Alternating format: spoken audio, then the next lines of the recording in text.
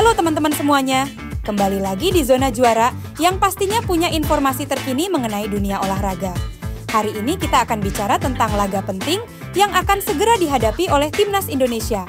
Yes, kita akan berhadapan dengan Filipina di kualifikasi Piala Dunia 2026. Ayo kita ulas lebih dalam.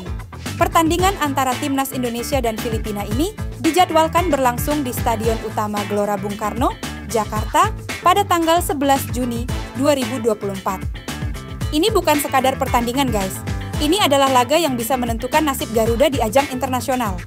Dalam beberapa tahun terakhir, timnas kita menghadapi sedikit kesulitan melawan Filipina di berbagai ajang.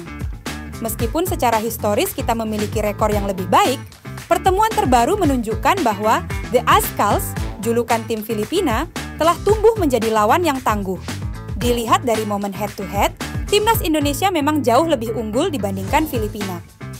Kedua negara ini sudah berjumpa sebanyak 28 kali di berbagai ajang sejak pertama kali berjumpa pada tahun 1958, timnas Indonesia terhitung lebih dominan menang sebanyak 23 pertandingan.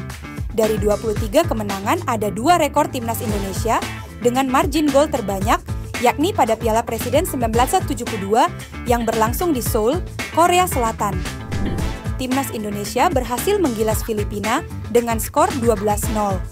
Gokil banget gak sih?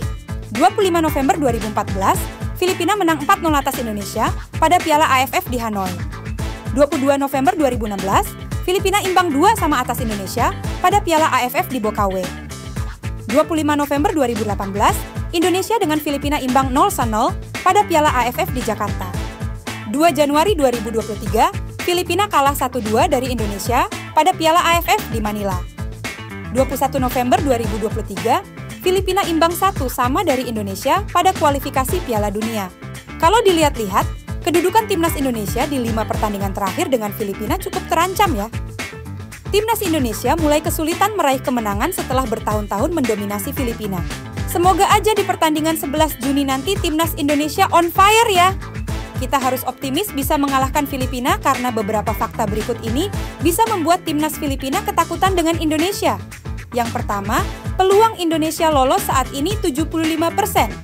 Timnas Indonesia berada di urutan kedua klasemen grup F dengan 7 poin terpaut 8 angka dari Irak, ada di posisi pertama dengan raihan 15 poin, Vietnam di posisi ketiga dengan koleksi 6 poin, dan Filipina ada di posisi paling bawah dengan satu angka. Indonesia bisa langsung lolos jika mengalahkan Filipina, tanpa perlu melihat hasil pertandingan Irak versus Vietnam. Jika Indonesia seri dengan Filipina, Indonesia harus berharap Vietnam seri atau kalah dari Irak. Kalau timnas Indonesia kalah dari Filipina, raihan angka Indonesia akan terkunci di 7 poin. Indonesia mesti berharap Vietnam kalah dari Irak. Kalau sampai Irak versus Vietnam imbang, selisih gol antara Golden Star Warrior dengan Indonesia yang akan dihitung untuk menentukan tim yang lolos ke babak ketiga. Yang kedua, Indonesia punya rekor head-to-head -head sempurna. Dari 28 pertandingan, Indonesia memetik kemenangan 23 kali, 4 imbang, dan satu kalah. Terakhir, Filipina dipastikan gugur jika hanya mengemas satu poin. Meski begitu, The Askals tetap bertekad mengincar kemenangan atas Indonesia. Tiga poin diincar Filipina, bukan demi membantu Vietnam yang bakal melawan Irak selaku pemuncak klasemen. Justru Indonesia dan Vietnam menjadi tim yang memperebutkan posisi runner-up grup F sekaligus lolos ke babak selanjutnya. Waduh, kayaknya bakal sengit banget nih perebutan skor Indonesia-Filipina besok. Jangan putus semangat ya guys buat terus dukung timnas Indonesia di perebutan posisi 3 kualifikasi Piala Dunia 2026 zona Asia. Selasa, 11 Juni pukul setengah 8 malam, Mimin pamit undur diri, pastiin kamu udah like, share, dan subscribe Zona Juara biar tetap update soal dunia olahraga. Keep supporting our players, dan semangat terus! Bye-bye!